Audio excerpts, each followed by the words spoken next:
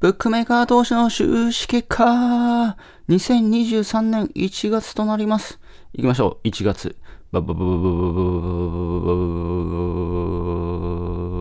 バはい、えー54勝2分けということで、えー利益は36万6465円ということになっております。買っております。ということで、えーっと、こちらトータルですね。トータル計算。どうなったかっていうと、今、1300、1398万13円ですね。5303勝100負け、61分けですね。引き分けということで。はい。いやー、すごいですね。もう、ポルシェですね。ポルシェ買えますね。はい、ということで、2023年1月も、えー利益となっております。まあ、ずっと毎月トータルはプラスでございます。積み上げてます。はい、では終わります。